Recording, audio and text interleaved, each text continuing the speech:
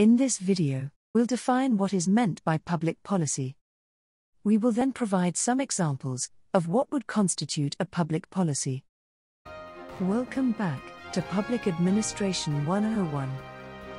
Quick Lesson Edition, proudly brought to you by Kano Consultants. For professional advice you can trust. Before we continue, if you are new here, please check out some of our other videos on this channel. Also make sure that you subscribe to our channel for more videos.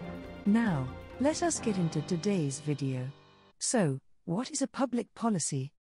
A public policy can be defined as a system of laws, regulatory measures, courses of action, and funding priorities regarding a specific area of government's function. This is essentially government's position on a certain issue and what the government would choose to do, or not to do, about such an issue. For example, a government may have a public policy on education, such as the education curriculum that will be followed, criminal justice policy, such as whether or not to allow and permit the death penalty, social policy, such as allowing and regulating pregnancy terminations, and the right to choose. A government may also have an economic policy, in which it regulates how it plans to collect taxes and how much it will collect.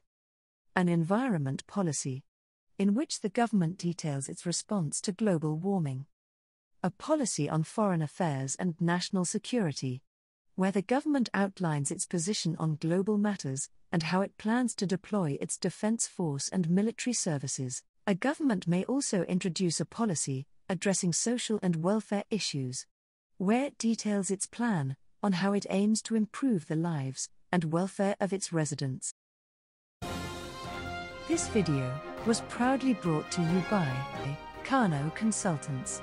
For professional advice you can trust.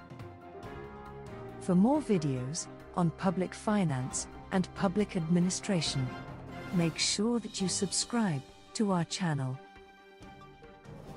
You can also connect with us by following us on social media at Consult Kano or engage with us by leaving us a comment under this video. Or you can tag us on social media using the hashtag ConsultKano. Until next time, check out these other videos.